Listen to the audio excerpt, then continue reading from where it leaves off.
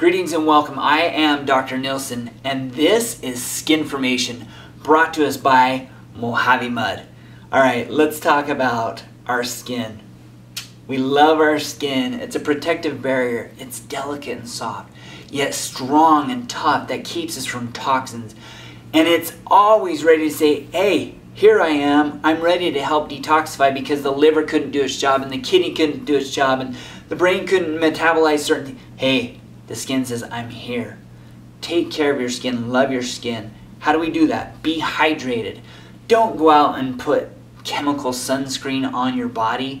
I have other products, other remedies that you can use. There's natural sunscreens so you don't get sunburns. If you do get a sunburn, but don't, you need to make sure you build your build your um, your skin up and I'll talk to you about another uh, another video about that but I do have supplements to be able to prevent from burning um, if you're out in the sun heaven forbid for like four or five hours direct sunlight you probably will get a sunburn horrible sunburn and then would really need you'd really need help. But be careful. Do get direct sunlight. I really do like the direct sunlight. Just be be careful. Now about 20,000 nerve fibers per square inch on the skin up into the neck, about 80,000 around the lips, very sensitive. Fingertips, very sensitive.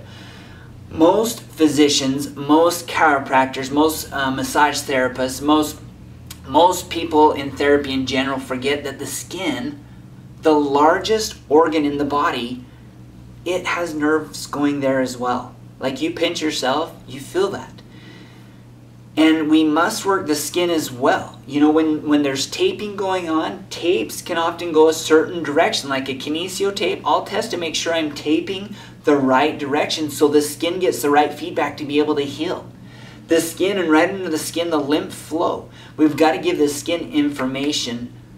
And so think about, I want you to think about how, how or what information you're giving to your skin. Now think about this. Skin. Skin here, Open up your mouth. That skin on the inside of your mouth, down through your esophagus is skin. All your stomach, that skin, that's all specialized skin, all the way out to the back end is all skin. Specialized, very specialized skin. So how are you treating your skin? What type of information, food is information, what type of information are you giving your skin? What type of information are you sending to your body that communicates with your skin? So, this is skin information. Just a couple of thoughts to perk your interest and to pique your mind so you can think, okay, what can I do better to bless, to keep this amazing skin just looking so healthy, young, and vibrant? Go out, get a little bit of sun, get some good vitamin D. Don't overexpose yourself. And if you do have a problem, let me know if you're out in the sun. You're to go out, want to avoid the sunscreens, the chemical harsh sunscreens, but get some good vitamin D3. I am Dr. Nilsson. This is Skin Skinformation presented by Mojave Mud. And remember this live in fullness every day.